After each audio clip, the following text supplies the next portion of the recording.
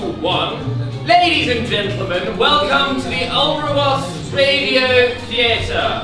And tonight's live, televised, one-off, specially commissioned Dad's Army Radio Show!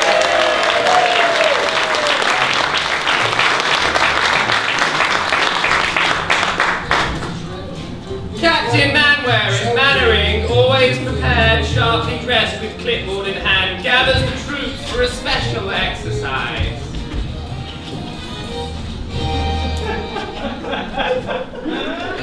Get your stuff in the van as quickly as you can.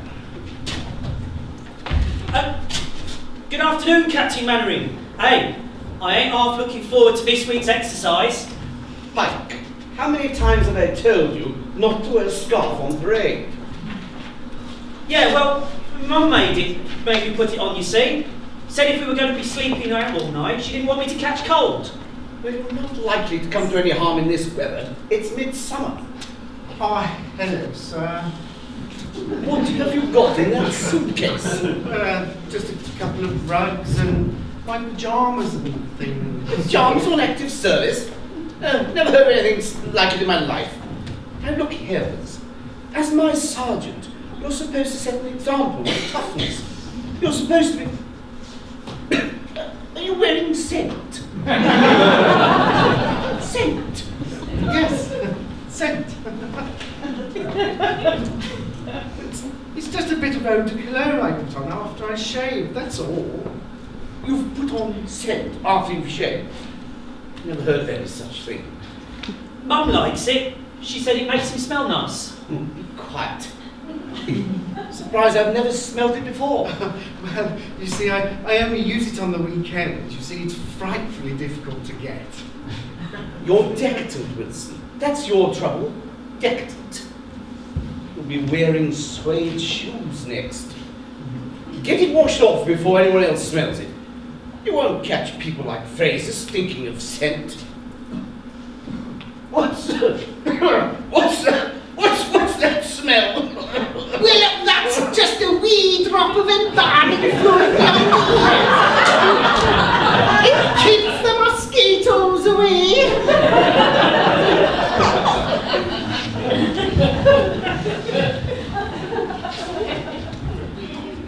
Good afternoon, Captain Mainwaring. What are you carrying that rider down for? Uh, well, which lad? My sister Dolly thought it'd keep me warm. You can't move swiftly across country loaded down like that. He couldn't have moved swiftly across, across country stark naked. Here we all are, sir. All present and correct and ready to go, sir. There you. Just a minute, just a minute. What's that? Oh, oh that, that, that's so everyone knows what I'm doing, sir. What are you doing? Well, WC, war correspondence, Get sir. off at once. And you can't bring that camp on parade. Well, Joey, here, he's been taking a photo of me for featuring me in an article in the Gazette. Yeah. What about this for a title then, Jonesy? Corporal Jones, war-scarred veteran. Yes, well, it, it doesn't mean I'm all mangled and mingy, you know, certainly It means scarred, sir. It means you're balmy. I am not Barney, don't start. All right, all right, all right. S- Sergeant, for goodness sake, get the men falling in, will you? You've wasted enough time as it is. All right, pay attention. Fall in three ranks, please. Quick as you can. Come on. Then two. Two. Tension. All present and correct, sir. Stand at ease. Now, now for the purpose of this exercise, we are patrol of commandos behind enemy lines, and our task is to rendezvous with a highly important secret agent who's been dropped by parachute. We shall then escort the secret agent um, to his secret destination. Permission to speak, sir. I should like to volunteer to be that very important, highly secret agent, sir. Yes, sir. Well, thank you, Jones. I've already decided highly important secret agent is going to be. Excuse me, sir. It's not going by any chance to be you, is it? Yes. How did you know? It's just, just a guess. Mr. Mainwaring, are you really going to jump out of a plane wearing a parachute? Stupid boy. It's a hypothetical parachute. Oh! I thought it was one of them. It's not safe, sir. Our task is to see that we are not spotted from the air as we move across the ground. Uh, so, we shall be wearing camouflage. GHQ, on the other hand, will be doing their best to capture the secret agent. Who is highly important. They'll be doing this by trying to divert us from our task uh, with use of counter-agents.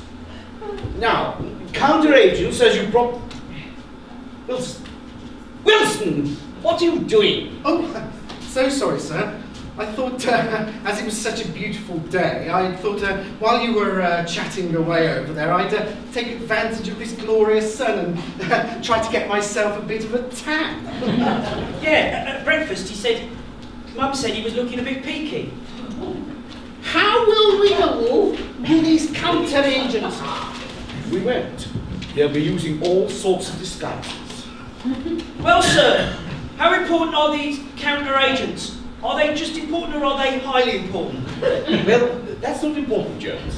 Well, I'm sure that you'll be most, most important to them all, sir. Oh, oh, yeah. There's one, there's no one more important than you, Captain Mainwaring, sir.